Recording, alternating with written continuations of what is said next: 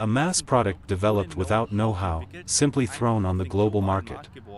Lack of monitoring allows these distributors to sell this dangerous product so easily globally.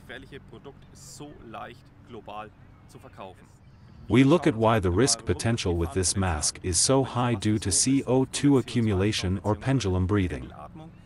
The topic was first raised by CBS a few years ago in a news article, but it was not discussed in technical detail.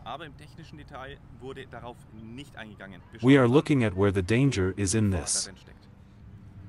According to the description, one should inhale over the middle, exhale left and right. In fact, it is the case that you inhale here, then the fresh air runs here via the small valve, it is really very very small, over the field of view and then via these super small valves in the mouth and nose area is inhaled here and there is an exhalation channel on the side here.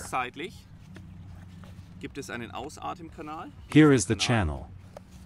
And according to the description, the air should be let out here again. However, it is now the case that there are no valves and you draw the air back into the mouth and nose area via this channel when you inhale. Wenn ihr einatmet, zieht ihr die Luft wieder zurück in den Mund- und Nasenbereich. In short, you breathe in your exhaled air again, the CO2 content increases, there are headaches, nausea, and in the really worst case loss of consciousness, which can then lead to death.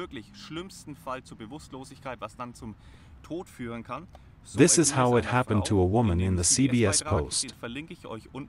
Source, YouTube.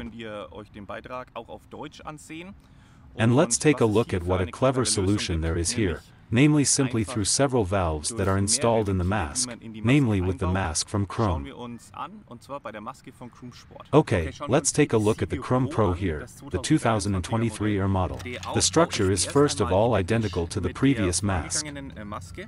In the middle the inhalation channel, left-right exhalation channel, but look at the difference in size. While you are breathing through a straw here with the cheap mask, you can breathe in and out here as calmly as on land.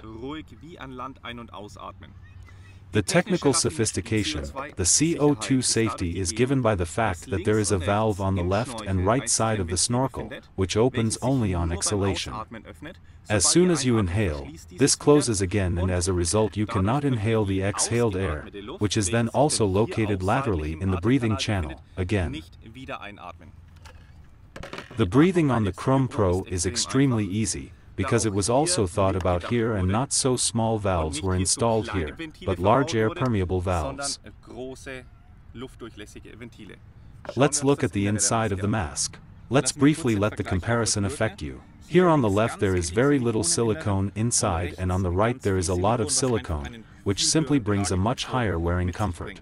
Currently, there are no global laws that these cheap snorkel masks will not be distributed further. Therefore, education is needed. I hope I helped you with this. Decide now for a snorkel mask developed in Germany, so that your vacation becomes an exciting snorkeling experience.